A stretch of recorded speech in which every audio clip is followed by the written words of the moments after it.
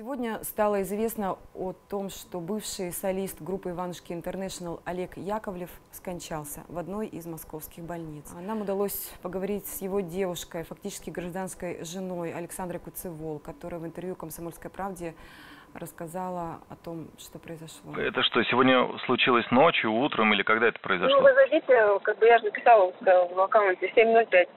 Написала 7.05. Что все-таки случилось? Какой-то диагноз, и это не тайна там Я никакая? ничего пока рассказываю. Все, что вы знали вот вчера, вот то вы знали. Сегодня не стало человека. Человек просто не пришел в себя. Все. Поздно было просто. Пневмония. Это запущенная ситуация. Вы прекрасно понимаете, что это, о чем я говорю. Сегодня я говорила со многими его друзьями, а, с его коллегами. Люди все в один голос рассказывают о том, что Олег просто горел на работе.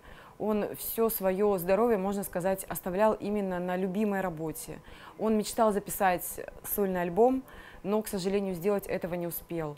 Он четыре года назад ушел из группы Иванушки Интернешнл, но очень скучал по тем временам и всячески пытался доказать, что он может выступать самостоятельно. А у него были уже какие-то проекты, он записывал клипы, но, к сожалению, так сольный альбом его и не был выпущен. И а, какие-то вещи, связанные со здоровьем, он всегда а, оставлял, так скажем, на второй план. Его интересовала в первую очередь карьера.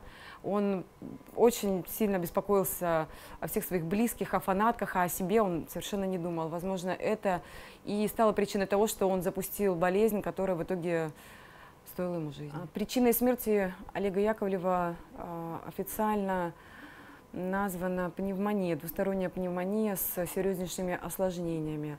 Однако среди диагнозов, которые сейчас фигурируют э, в СМИ, есть и цирроз печени. А, кто-то делает догадки, что а, имел место алкоголизм, кто-то говорит о наркотиках. А, все эти версии мы озвучили в разговорах с друзьями. Они, естественно, как близкие люди, все эти версии отрицают. Как оно на самом деле, я думаю, мы узнаем позже. Среди тех, кто выражал свое мнение об этой трагедии, был и музыкант Юрий Лоза, а, который в интервью «Комсомольской правде» посетовал на то, что человек должен сам понимать, что такое здоровье и что такое работа. Лишний раз э, пропустить концерт, лишний раз не поехать на гастроли, но отлежаться и дать возможность организму прийти в себя и восстановиться. Он за 45 лет своей деятельности, я имею в виду Юрий Лозу, очень хорошо усвоил этот момент и сейчас рекомендует э, всем другим, кто ради работы жертвует своим здоровьем, задуматься, а, взглянуть на трагедию с Александром Яковлевым как на урок, трагический урок.